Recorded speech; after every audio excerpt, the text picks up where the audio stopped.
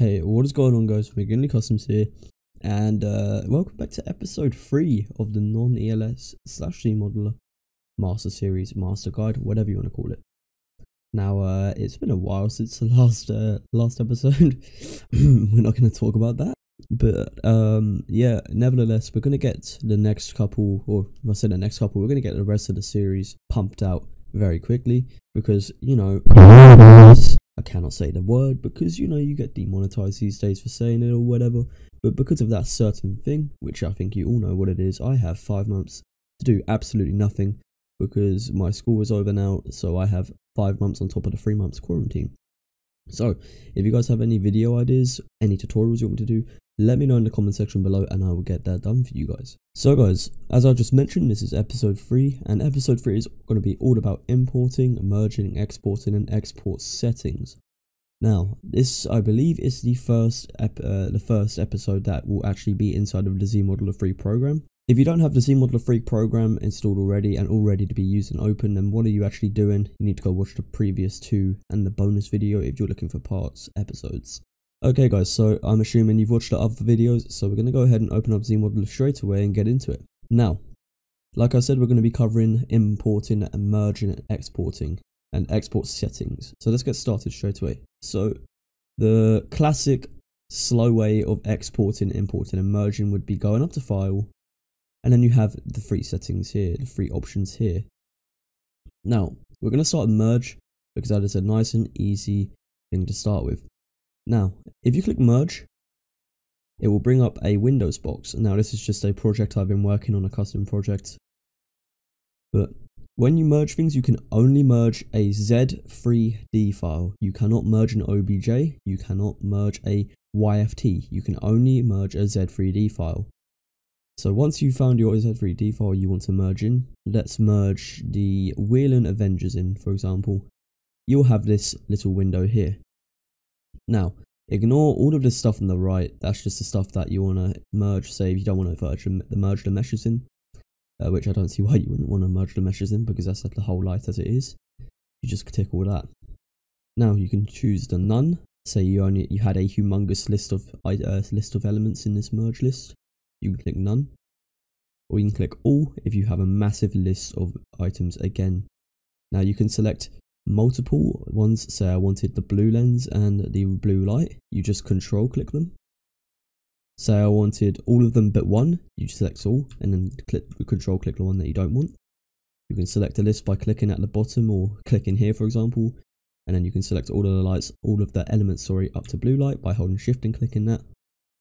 But for this purpose, I'm just going to click all. Now once you've done that and selected what you want to select in here, you click merge. Now, if you have merged something that is already LOD'd, such as these Whelen Avengers, you click L0. Now once you've clicked L0, you will see that uh, there will be some mesh. It could be selected, it could not be selected. The way to tell if it's selected is if it is red or if it is just black like that. The way to unselect it, the best and quickest way to unselect everything is holding Shift and D. So let's select it, Shift D, unselect everything. Or you can go into your select tab here and you can use all of these tools to select something. The best way to select a whole element but just that element is using quad R, like that. Now, this is the hierarchy on the right hand side. We will get into this in a different episode because that is not important at the moment because this episode is purely based on merging, importing and exporting. So, that is how you merge. Things to remember for this option, this merge category, is that you can only merge a Z3D, you cannot merge a YFT or an OBJ file. Now, let's say I wanted to import a file that is not a Z3D because you cannot import a Z3D file. Let's say I had a YFT. Now, the YFT file that I'm going to be using as an example is the gauntlet file. Now, the reason I'm using a GTA vehicle to, uh, to show this is that uh, the YFT of GTA vehicles are all unlocked. Now, one thing to remember about YFTs, and listen carefully here, you cannot import it if it is locked. Now, you will be able to tell if it's locked or unlocked from when you go to the import category. I will show you the difference between a locked and an unlocked vehicle in importing in just a second. However, another thing to remember and think about when you have a YFT is when you import the YFT, it imports everything. For example, if we go here and import Gauntlet, it won't ask you like the merge tool did what you want to import. It will just import everything. Now, another thing to remember about YFTs and um, when you're importing is that it does not import the textures. Now, if you want to import the textures with it, you go to import and then you select your YFT and then down here in this little box down here, go down to add where it says preload packs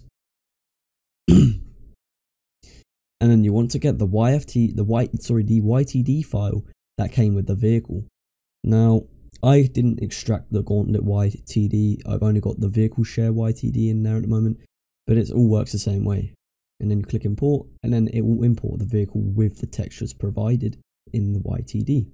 Now, another thing that you, that is cool about why uh, about the import tool is that you don't only have to import YFTs or YTDs, blah blah blah. You can also import an OBJ file. An example of an OBJ file would be a OBJ that you saved from, let's say, 3ds Max or Blender. Here's just a simple chamfered box that I uh, made just a second ago in 3ds Max to use this as an example. So you want to go to ZModeler, go to import, and then you go to where your OBJ file is. My one is on my desktop. And then here's the chamfered box, and I'm going to merge the chamfered box in, uh, uh, import the chamfered box in, sorry. And here it is. Now again, you need to remember that it will not ask you, it will not ask you what part of that OBJ you want to import, it will just import the whole thing.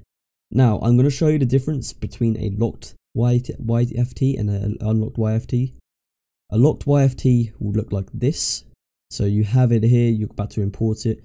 You click import, but the button fades out and you just can't click it. There is nothing you can do to unlock this. You can only contact the author of the vehicle to ask if you can use it with unlocked access.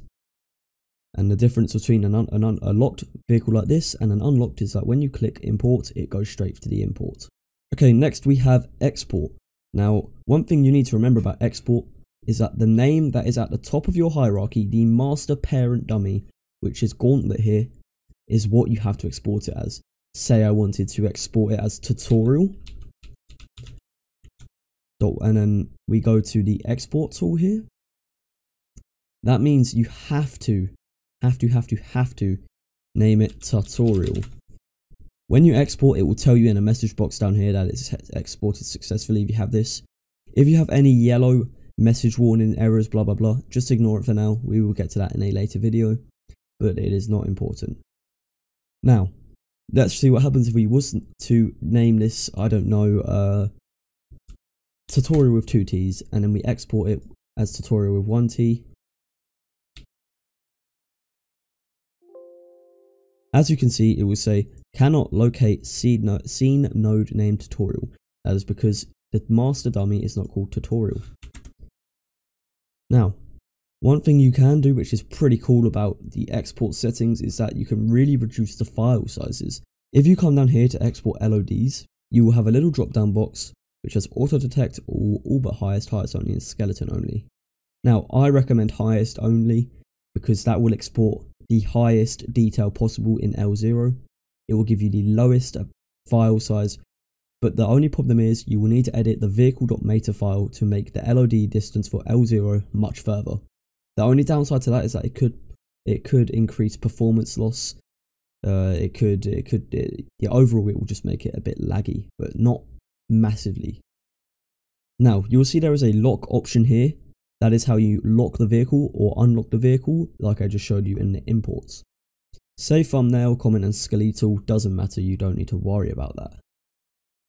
You can also export your vehicle as an OBJ like this. Say I wanted to name it tutorial you don't need to put .obj, it will auto automatically name it. As you can see, you have the tutorial uh, the tutorial OBJ file and it'll also export an MTL. This stands for material, so when you import the OBJ into another program, it will take that materials with it. Now, that is everything that I really have to talk about in terms of import, export, merging and export settings. If you have any problems with this, let me know in the, in the comment section below and I will definitely 100% reply to as many of you as I can. Again, I'm very sorry for the delay. Uh, I think it was on a month, maybe nearly two months. Uh, it's just a lot of stuff has been happening in my life recently, and uh, you know, with this whole thing that I cannot say the word of again, uh, it's really freed up a lot of time for me, which is really helpful to get this series done. Uh, if you have any questions, leave them in the comment section below. If this series is helping you, please leave a thumbs up and subscribe. Anyway guys, I'm McGinlay Customs and I'll see you in the next video. Peace out.